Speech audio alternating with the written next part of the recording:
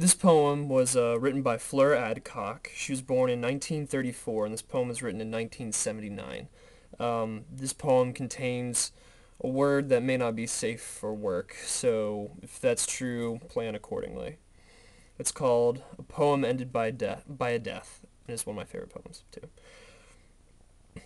They will wash all my kisses and fingerprints off you, and my tear stains. I was more inclined to weep in those wild garlicky days, and our happier stains, thin scales of papery silk. Fuck that for a cheap opener. And false, too. Any such traces you pumiced away yourself, those years ago when you sent my letters back, in the week I married that anecdotal ape. So start again. So. They will remove the tubes and drips and dressings which I censor from my dreams. They will, it is true, wash you, and they will put you into a box, after which whatever else they may do won't matter. This is my laconic style. You praised it as I praised your intricate pearled embroideries.